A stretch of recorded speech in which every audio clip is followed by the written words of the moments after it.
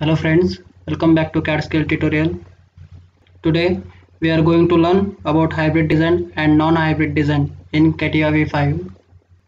So let's start our tutorial. When we go for any new part in part design, here we can see enable hybrid design in this dialog box. Suppose we click on this enable hybrid design and click on ok. So now we are creating a part that will be hybrid design or hybrid part. First I will create a 2d sketch by clicking position sketch.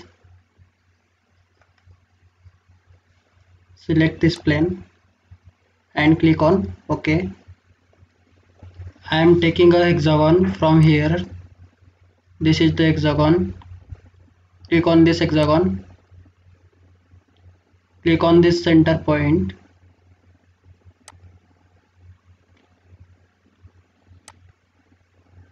And construct it by giving dimensions. Double click on constraint. Select this line. Double click. Change this value by 90 and click on ok. Click on exit. Now I am extrude this profile by clicking on pad change this value by 50 and click on mirror extend click preview. Click on ok. This is my solid body. So we can see here all our history is in this part body now I am creating one more sketch. Click on position sketch. Select this profile. Click on ok. I am taking 3 point arc from here. This is 3 point arc. Select first point and second point. Click on third point now double click on constraint. Select this arc. Double click. Change this value by 180 and click on ok. Again select this point center point and this point. Right click. Click on coincide. Now you can see our profile is iso constraint. Click on exit. Now I am switching to generative surface design workbench. So click on start. Shape generative shape design. Now we are entering generative shape design workbench. You can see the all commands. Now I am going to extrude our profile by clicking on extrude command. Here is the extrude command select this profile. Change this value by 50 click on mirror extend. And ok. So we can see here the pad feature as well as extrude feature. Both are in this part body. This is the advantage of enabling the hybrid design option. Now we will see what is the difference in non-hybrid design. We uncheck this enable hybrid design option and click on ok. So we are going to do same thing as we go on before. First click on position sketch. Select this plane. Click on ok. Now again I am taking this hexagon.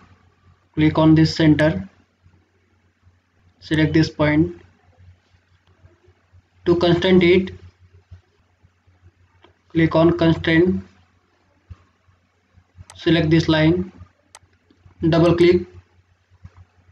Change this value by 90 and ok click on exit. Again extrude this profile by clicking on pad command. Change this value by 50 click on mirror extend and click on ok again click on position sketch select this plane okay. Now I am creating a spline here. So click on spline.